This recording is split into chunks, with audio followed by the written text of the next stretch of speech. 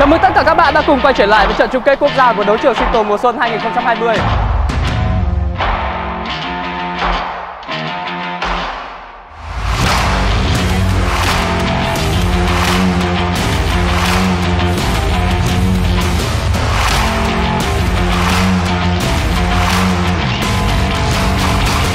À, bản thân ba đất thì cảm thấy chương trình ngày hôm nay rất là chuyên nghiệp, rất là hoành tráng và, và cảm thấy vui nữa. Và cái cách làm việc của Vana, cái cách làm việc của ekip và cái cách làm việc của các bạn youtuber nữa nó mang lại cho ba đất một sự gần gũi, một sự chuyên nghiệp và rất là thích thú.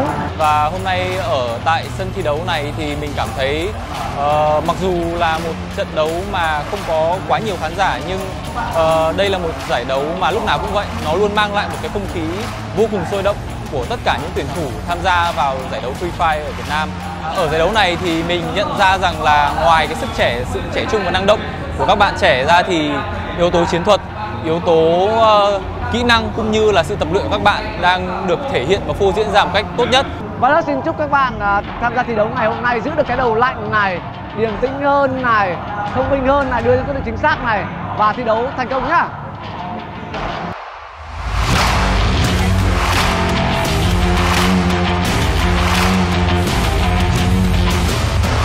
Và chúng ta có thể thấy là trận đấu đầu tiên đã bắt đầu rồi và lần này thì đường bay của chúng ta khá là cắt góc. Clear đẩy lên băng vào vị trí của Cloud nhưng trong khi đó thì Cloud đã gục rồi. Fail, fail, vẫn còn, fail fail vẫn còn, fail vẫn còn Và đó là cái top 1 ở trận đấu đầu tiên dành cho team Flash. Wasabi đang bị bắn và bắt buộc vòng bo ép họ phải chạy. Binsu đẩy lên Bên phía bên kia, Serbin đang cảm thấy hơi cô độc một chút, anh ta không làm gì hơn được cả. Top 1 đầu tiên dành cho V Gaming. Bắn rất tốt nhưng chưa đủ. ta có một tình huống đưa về là ba đánh ba. À, đôi nhưng đó của team Flash.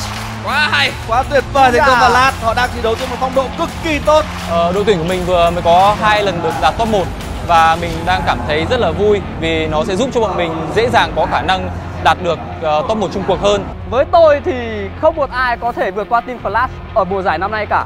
Và họ sẽ tiếp tục là nhà vô địch mà thôi.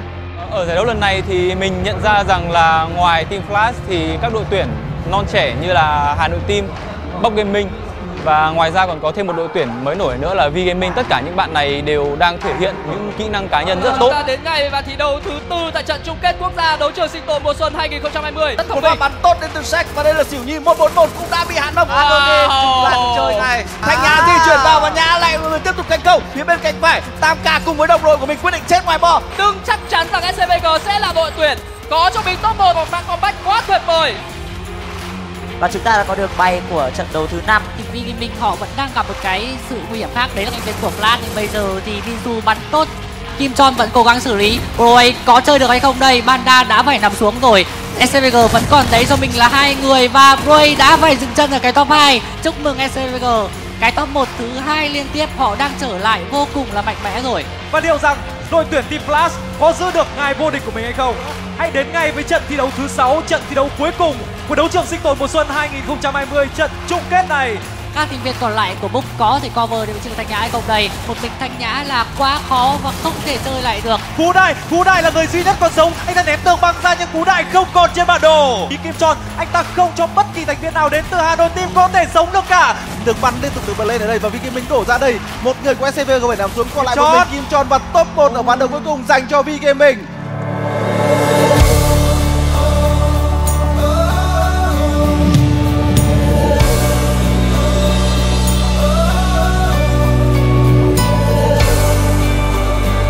Thì chúng ta sẽ cùng đến với phần quan trọng nhất trong ngày hôm nay Đó chính là phần công bố và trao giải thưởng.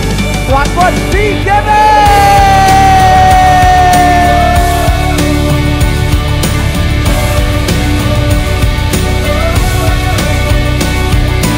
Á quân Team Flash Hạng ba SCVG